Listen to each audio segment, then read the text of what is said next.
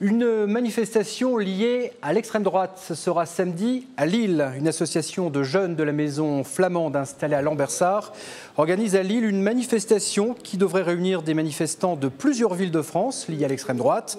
Provocation ou revendication, une conférence était organisée cet après-midi par les membres de l'association et qui n'accepte pas une éventuelle interdiction à manifester.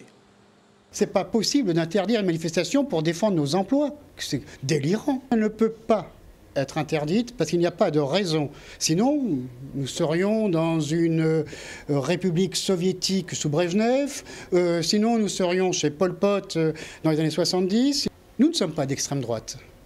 Nous ne sommes pas issus des ligues. Nous sommes justement ces socialistes qui voient le socialisme par la nation. Alors des associations comme la Ligue des droits de l'homme, mais aussi des élus comme Martine Aubry, maire de Lille, qui craint tout simplement des débordements, demandent à la préfecture l'interdiction de cette manifestation.